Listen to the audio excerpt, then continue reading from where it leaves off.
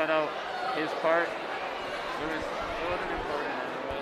Okay. So uh, we'll go right from baseball meeting to uh, you talking about women's leadership. Okay. So,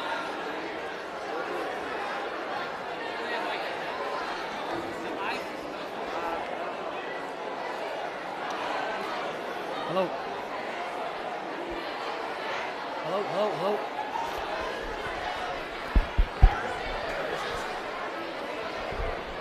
Good morning. We got plenty of room down here in the front if you need a spot. Good morning, eighth graders.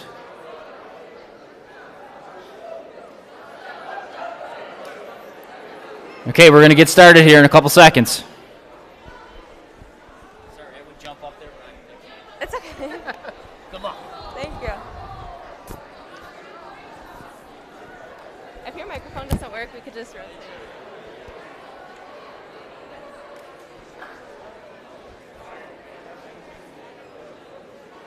Hello.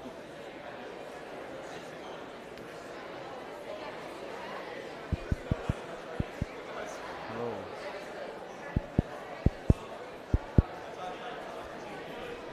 Hello, hello. Hello.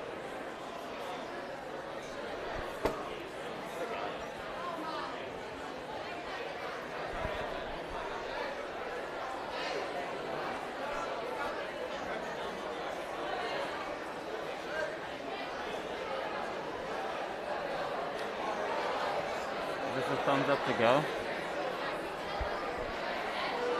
Yeah, we can go. Good morning, Aquinas.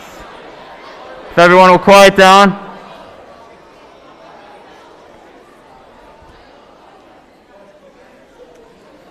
Today we will start our assembly like we do with all things, with prayer. So at this time, please stand for the morning prayer and pledge. In the name of the Father, and of the Son, and of the Holy Spirit. Amen. God bless us as we strive to welcome all our students to be part of our school community. God bless those who feel excluded. Give them faith, give them love, give them the knowledge of your welcome. Open our hearts to move swiftly within your grace, to hear your message in silent words, to glimpse your glory beyond our sight, to find your wisdom in simple truths, to accept our weakness in your strength. Let us join Christ in breaking down those walls which separate us from one another. Let us all truly feel that we belong. Amen. For all those intentions we hold in our hearts and written in our book of intentions, we pray to the Lord. Lord, hear our prayer. Please join me in the Our Father. Our Father, who art in heaven, hallowed be thy name. Thy kingdom come, thy will be done, on earth as it is in heaven. Give us this day our daily bread, and forgive us our trespasses, as we forgive those who trespass against us. And lead us not into temptation, but deliver us from evil. Amen. St. Thomas Aquinas, Pray for us. St. Basil, Pray for us. St. Joseph. Pray for us. In the name of the Father, the Son, the Holy Spirit. Please join me in the pledge. Pledge allegiance to the flag of the United States of America and to the republic for which it stands, one nation, under God, indivisible, with liberty and justice for all.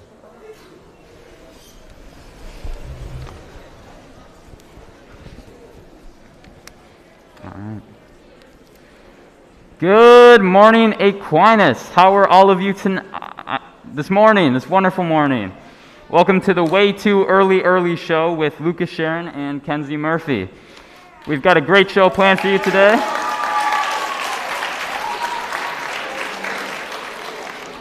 We've got a great show planned for you today with some very special guests and some amazing segments, so stay tuned after this commercial break.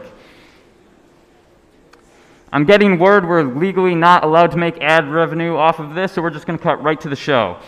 So, Kenzie, I hear that Aquinas played a great game last Friday. Sadly, I couldn't be there. Could you tell me a bit about it? Yeah, so our football team actually won against Fairport 42 to 14.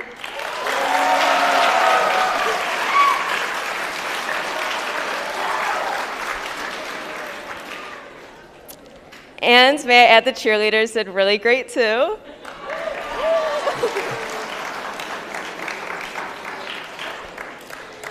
Um, speaking of football, we actually have another game Friday, the Friday Night Lights game.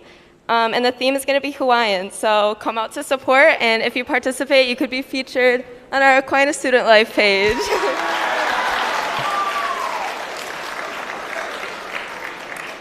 So speaking of great sporting events, I also heard that this past Friday the cross country team competed at the Dash in the Dark at Oakfield, Alabama.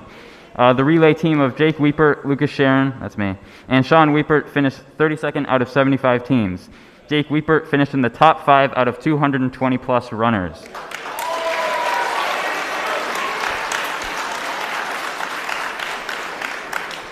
That's amazing. While we're on the subject of Fridays, I would like to mention that this upcoming Friday, which is September 17th, Student Council will be collecting $5 for school year holiday dress downs. That means if you pay $5 on Friday in quiet money, you will be able to dress down on Valentine's Day, St. Patrick's Day, St. Thomas Aquinas Day, Cinco de Mayo, and the Friday before the Super Bowl. Don't forget to pay if you want to dress down on those days. Thanks, Kens. All right, it looks like it's time for our first guest of the, the night, um, the, the morning. Uh, right now, we invite Mrs. Easton to the stage.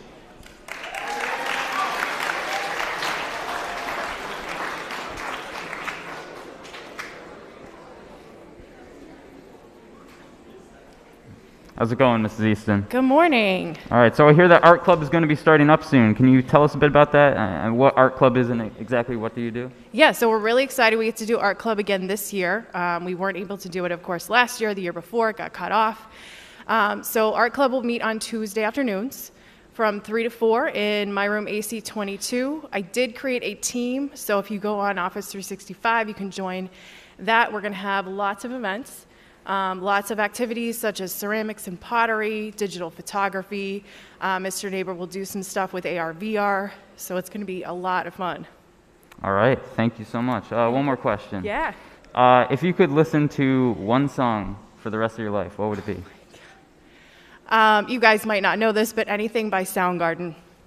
Thank you. All right, very nice. Well, if anyone has any more questions about our Club, ask Miss Easton, so thank you. Uh, moving on, we have a few general announcements concerning signups and other clubs and activities. Uh, Kens, can you tell us a bit about Ski Club? Yeah, so if you're interested in Ski Club, you can scan the QR code on the screen and fill out the form courtesy of Miss Gianta. This QR code will also be broadcasted tomorrow on Morning Update, so don't worry if you don't catch it right now. Lucas, can you tell us a little bit about the baseball season coming up? Uh, yes, uh, there will be a quick baseball meeting Monday after school in the field house for anyone that is interested uh, anyone that will be attending fall ball workouts. If you cannot make it, please see Mr. Maniosi. All right, so moving on, um, Mrs. Melton wants the school to know that the library is open for study halls, so come on down and check out a book. She also wants us to know that Women Leadership will be starting soon. She'll be making announcements with more details, and if you are a sophomore or junior this year and would like to join, please see Mrs. Melton in the library. All right, thanks. Now, I think that we have time for one more guest. Uh, right now, we'll invite Mrs. Barber up to the stage to tell us about the upcoming theater season and auditions.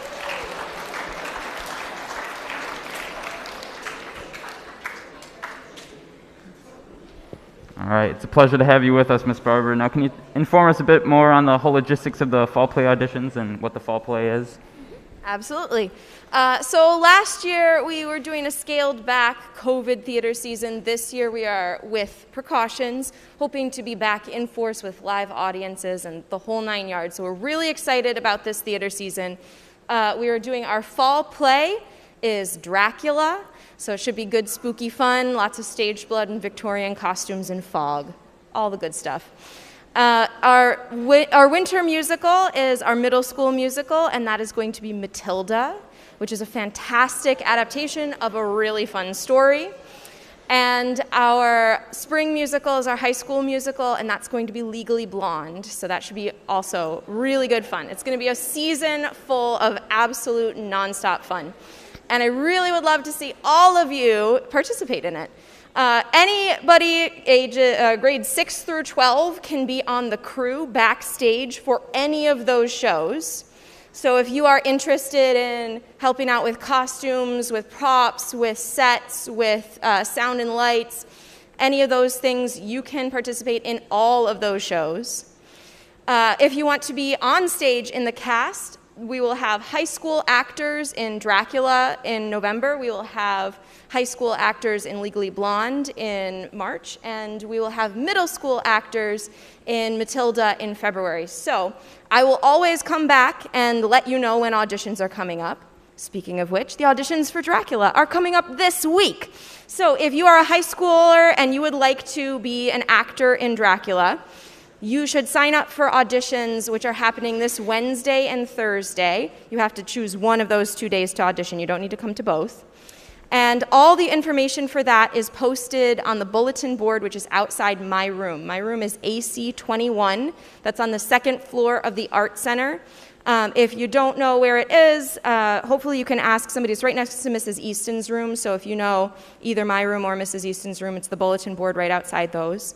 Um, and if you catch me in the hallway, I'm always happy to answer questions. You can also email me. My email is mbarber at aquinasinstitute.com or message me through OnSuite. I'm happy to answer any questions that you have. All right, awesome. Thank you, Mrs. Barber. Thank you. Thank you. Uh, now, to make this whole kumbaya situation a little easier, for future reference, on B weeks, such as this week, juniors and seniors will come to the auditorium for kumbaya, and on A weeks, like next week, 9th and 10th graders will come to the odd for kumbaya. Uh, this information will also be sent out in an email fairly soon, so in case anyone misses it. And shout out to Mrs. Kilminster for this great idea. A quick yearbook announcement. If you want to design our yearbook, email Gwen Bushin at bushingw at aquinasrock.com with your interests. And, or if you have pictures for this year's yearbook, you can email her as well. Also, if any junior or senior girl would like to sign up to play in the Powder Puff game, or any junior and senior boy would like to be the cheerleaders for our game, please email Sammy Brusha at brushasa at aquinasrock.com. All right, I think that's about it, Lucas. I, I- I think there's one more announcement. I don't think so. Come on. I don't think it's necessary. I, I disagree. I'm not going to say it. Please? Fine. Mr. Bianchi wants the school to know that Lucas is the man. All right, there it is.